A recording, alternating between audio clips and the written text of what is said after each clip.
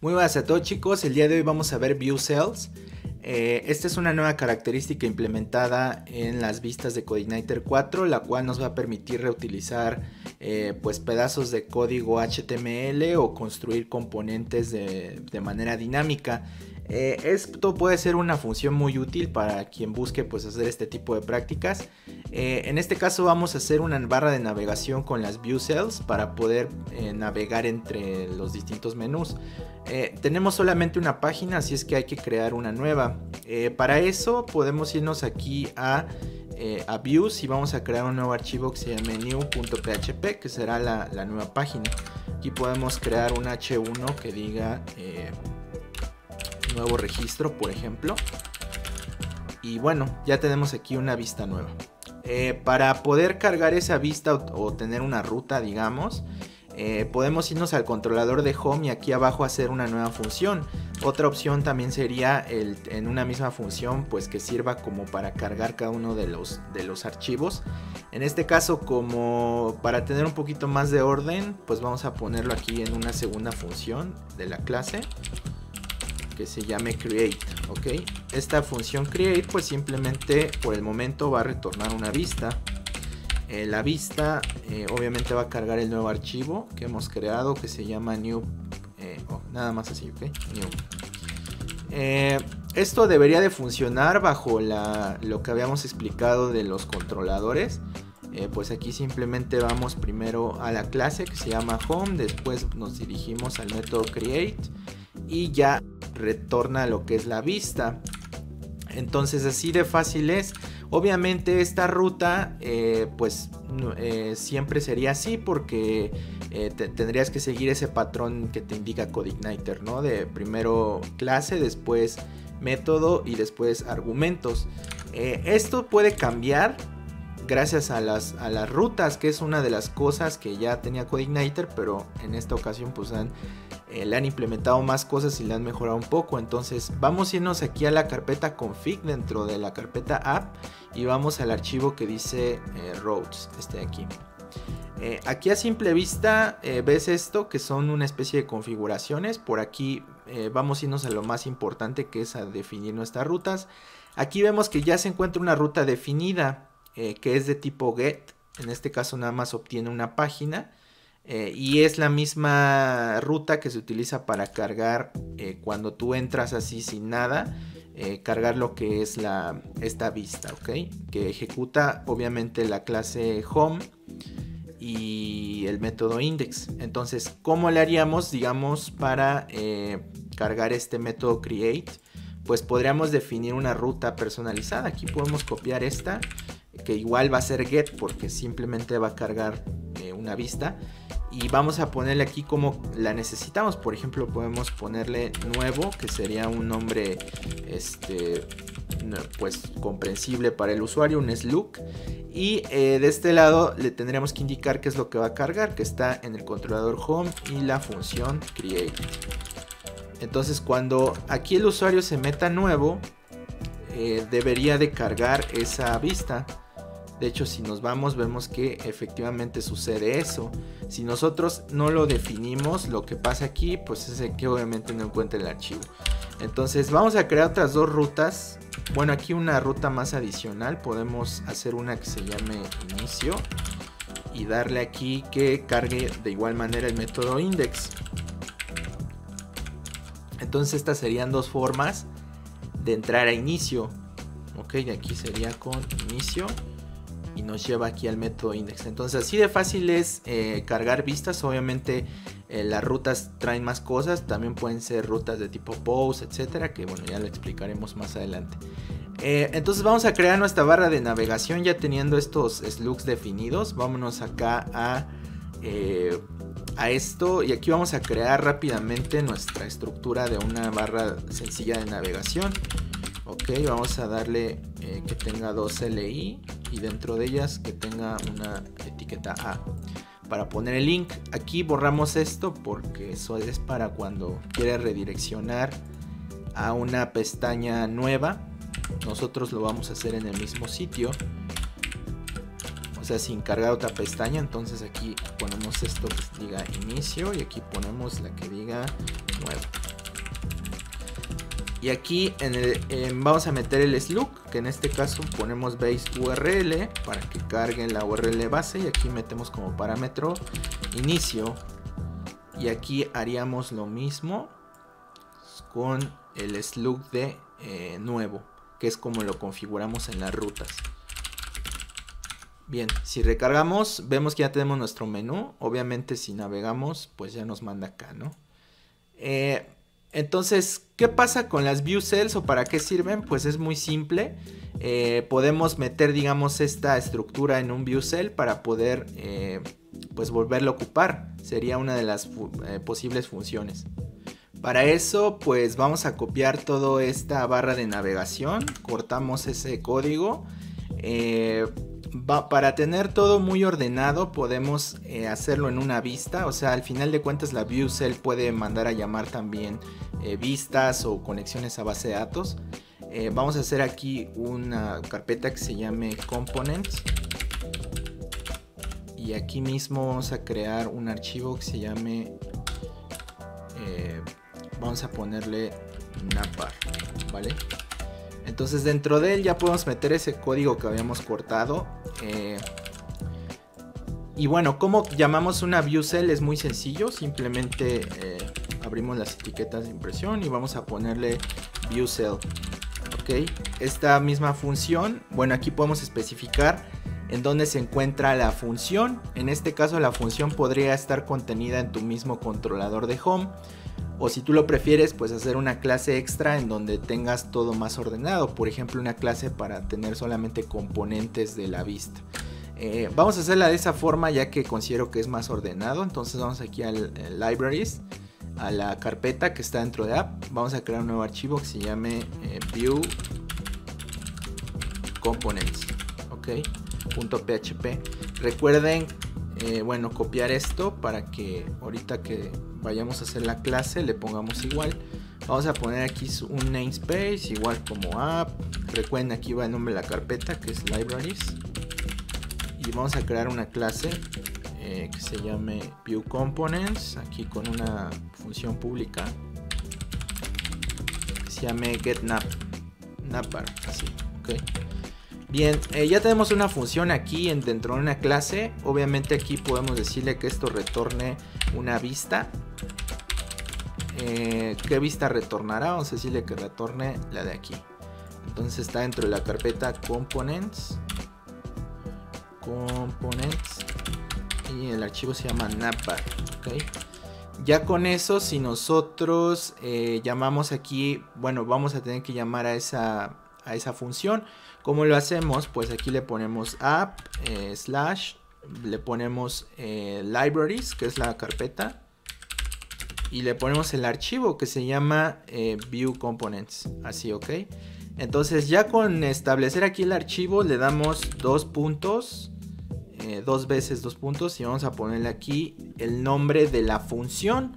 Aquí es importante poner eh, esto, sea, que se llama getNavbar, ya que así es como se llama. Entonces, eh, ya con esto, eh, pues tendría que llamar a esa, a esa función, así de fácil. Tú igual si tuvieras un controlador aquí, pues tendrías que poner app controllers y el nombre del controlador. entonces vamos aquí a verificar que funcione. Si recargamos, vemos que ya no sale nada, salvo este carácter que se me pasó aquí. Eh, vemos que sigue saliendo el menú, pero ya no está aquí, lo está cargando de aquí de la vista de Napar. Entonces, eh, ya te imaginarás, tú aquí tú puedes hacer más cosas aquí dentro de, la función. Eh, por ejemplo, podemos hacer que traer un segmento, por ejemplo, que nos identifique cuál es el segmento 1 para poder saber si es activo el menú o no es activo. Eso es, vamos a hacerlo así. Por ejemplo, em, vamos a ponerle vamos a llamar ese servicio. Esto no es muy importante que lo comprendamos por ahora. Solo entendamos que en Coordinator 4 ya manejamos lo que son servicios, entonces casi la mayor parte de las clases útiles se encuentran configuradas como servicios. Como tal, podemos llamarlos en cualquier parte de nuestra aplicación. Eh, aquí podemos llamar al servicio que se encarga de recibir los requests. Para eso eh, ponemos config y vamos a ponerle aquí service dos puntos. Eh, dos puntos aquí, request. Ok. Entonces, así es como traemos este servicio. Aquí ya, eh, pues llamado, podemos aquí hacer uso de sus funciones, que es muy similar a lo que hacíamos en Coordinator 3, como URIS eh, get segment. Y le decimos que obtenga el segmento número 1. Inclusive aquí si yo, eh, vamos a guardarlo aquí como segmento. Si yo imprimo esto, es decir, le pongo eh, eco segmento, vamos a recargar de este lado y vemos que nos trae el segmento 1 que es inicio. Si yo aquí, eh, no sé, pongo, bueno, vamos a navegar por ejemplo en nuevo. Eh, dicen que getNav es método inválido. Vamos aquí a, nuevo. Eh, bueno, a este de aquí. Aquí ya habíamos llamado a la view cell. Aquí vamos a poner que llame bueno es que nos equivocamos. Es getNavbar así. Eh, si se dan cuenta aquí, pues te trae el segmento de nuevo y si das clic aquí te trae el segmento de inicio. Eh, este cell, si te dan cuenta, nada más fue cuestión de copiar y volver a pegarlo aquí y ya lo podemos reutilizar ahí mismo. Entonces, eh, ya teniendo este segmento, volviendo aquí a la configuración del view cell, nosotros podemos pasar ese segmento como parámetro para indicar que menú está activo.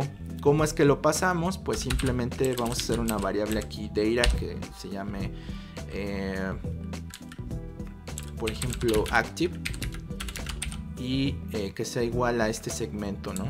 Aquí inclusive esto, para ahorrar un poco de código, podría ir aquí para que lo guarde como una variable y aquí ya nada más pasamos a la vista, pues data. Ajá. Entonces aquí ya lo recibimos en, nuestro, en nuestra vista y aquí ya podemos usarlo. ¿Cómo podemos hacer que sea activo? Pues de manera muy simulada podemos hacer algo así. Eh, aquí podemos decirle que si eh, la variable que en este caso se llama eh, active, le ponemos que si active es igual a, en este caso aquí sería inicio, o si active es igual a vacío, que ese sería el caso en el que no se pasara nada, o sea que quedara así.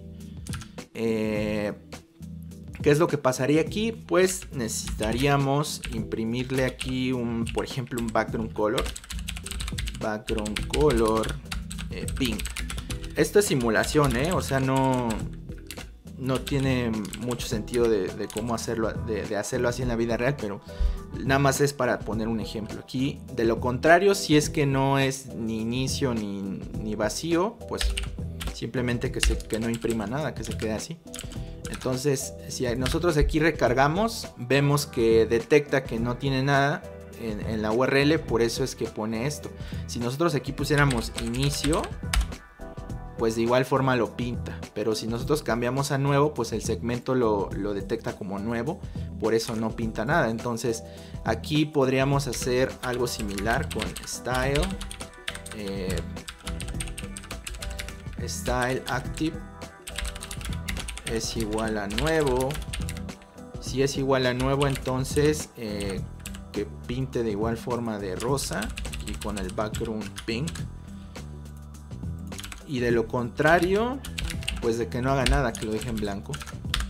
Entonces, si se dan cuenta aquí, ya también pinta nuevo. Entonces, de esta forma podemos nosotros controlar lo que son eh, la navegación y, este de Active, ¿no? Hay muchos eh, frameworks ya como Bootstrap, eh, Bulma, etcétera, que te van a permitir o dar clases que te pongan pues un diseño más bonito que lo que tenemos aquí. Entonces, básicamente es esto. También otra de las características de las view cells es de que puedes pasarle tus parámetros. Aquí, por ejemplo, puedes decirle eh, qué tipo de barra es. si es primaria, secundaria, podrías pasar, no sé, un parámetro para una clase, se me ocurre eso. Eh, entonces aquí definimos como parámetro en la, en la, función, que es un string, y le ponemos eh, una variable. En este caso podría ser type, por ejemplo. Esta misma variable la va a recoger cuando la pases desde aquí, desde la definición de la view cell. Y ese valor pues aquí lo podemos poner como una, una variable más para pasarla a la vista, como type por ejemplo, eh, que sea igual a la variable type. Y ya con esto eh, podríamos nosotros aquí en la vista, pues por ejemplo ponerle aquí en nav la clase que imprima ahí eh, el tipo, ¿no? en este caso sería la variable type. Sí, type. Entonces, ¿cómo es que ya teniendo esta configuración podemos pasar a esa variable? Pues te vas aquí en la definición de la... cuando mandas a llamar la viewCell y aquí como segundo parámetro es donde ya pasas eso.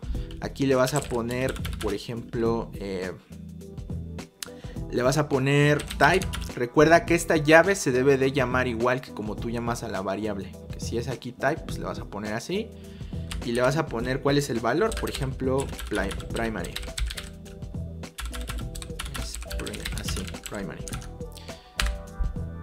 Entonces, de esta forma, aquí, eh, si, te, si tú pones aquí inspeccionar elemento, te vas a dar cuenta que eh, la NAP pues ya le pone aquí la variable que es primary efectivamente. Si tú te pasas a nuevo, recuerden que no hemos pasado ningún parámetro. Eh, te mando un error, esto pasa porque aquí en la vista de new no hemos pasado ningún parámetro y tú al momento ya de poner aquí, eh, definir como parámetro de la función, ya le estás diciendo que es obligatorio. Entonces solamente hay que ponerlo aquí. Por ejemplo está type igual a secondary. Entonces recargamos ya no debería de, de haber ningún error. Solamente inspeccionamos para ver que esté funcionando. Y efectivamente le pone la clase secondary. Entonces de esta forma también puedes pasar parámetros así de sencillo. Y bueno, básicamente todo esto es el poder de la view cell. Tú igual podrías aquí duplicarlo las veces que quieras. Y obviamente pues se va a imprimir, ¿no? Entonces eh, pues hasta aquí vamos a dejar este video, espero te esté gustando este pequeño curso, vamos a seguir trabajando con más temas de vistas tal vez en el siguiente video y nos vemos la próxima, comparte el video y eh, pues dale like o deja un comentario si tienes dudas sobre algo y en la medida de lo posible yo estaré respondiendo cualquier inquietud. Muchas